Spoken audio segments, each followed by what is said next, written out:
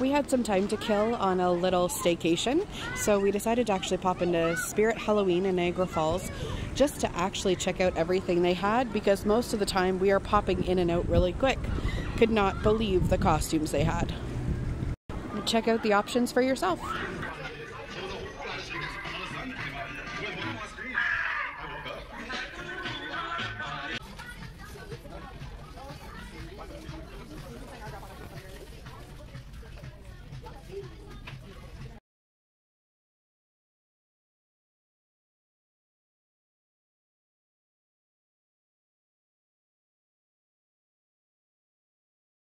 I was a little obsessed with the costumes that were clearly from my childhood, as well as all of the inflatable costumes that they had.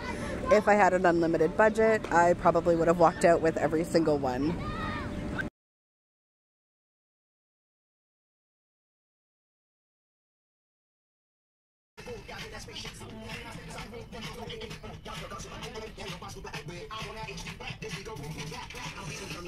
Probably not my top choice for couple costume.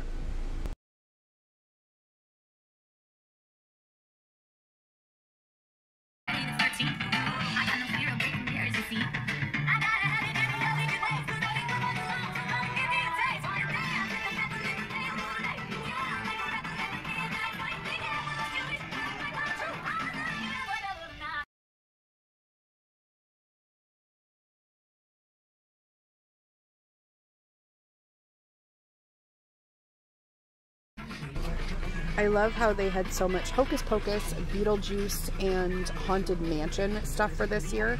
We stocked up quite a bit. I'm very excited for our next Halloween cruise.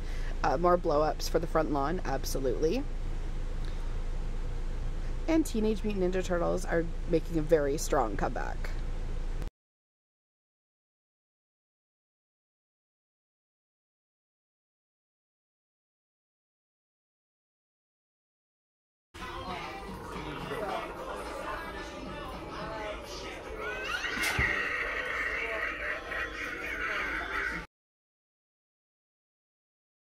Okay, go. Oh, God. So gross.